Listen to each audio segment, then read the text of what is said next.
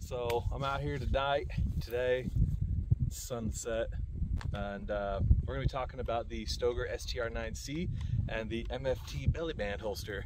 I don't use these a lot, but I like the idea of the belly band. Uh, it offers a little bit of a, a, different configuration for carrying if you're like jogging and you know you're wearing those sexy gray sweatpants that all the ladies love. You're gonna want something to where you can still carry the gun, but uh, not have to wear a holster. So that's definitely a big advantage. Come on over here, Mr. Cameraman. Get a little bit of a nice view going on here. We got the Great Salt Lake in the background. It's lovely.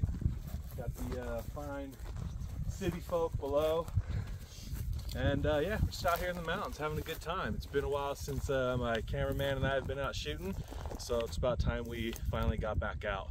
And uh, I've been excited about the Stoeger STR9C. Um, it's uh, it's a great little affordable gun. If you guys are looking for something similar to a Glock, but not at that Glock price range, then the Stoeger is a great option for you.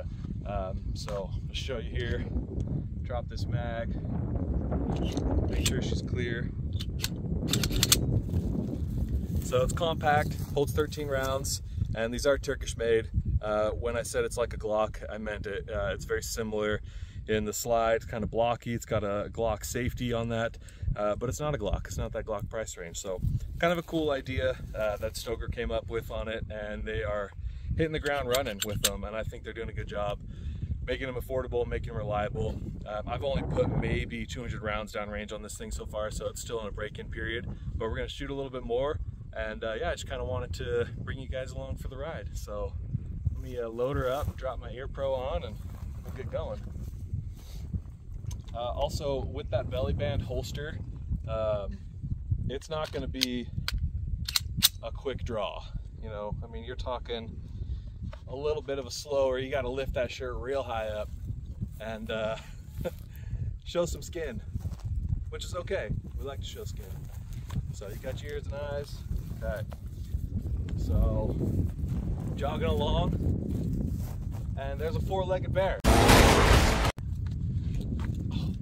Was pretty slow.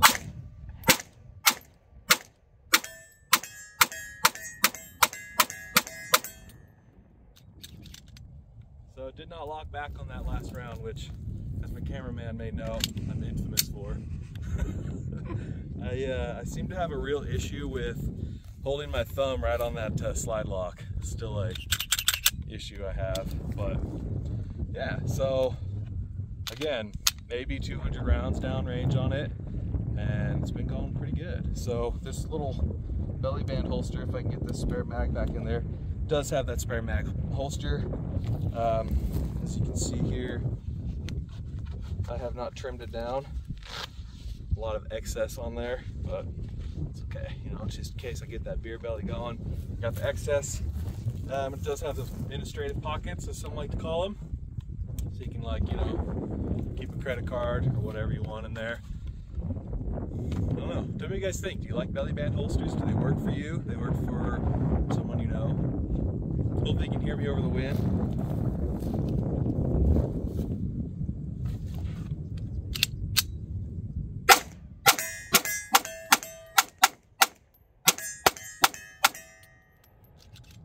Didn't lock back on that last round again. I guess I have an issue with that.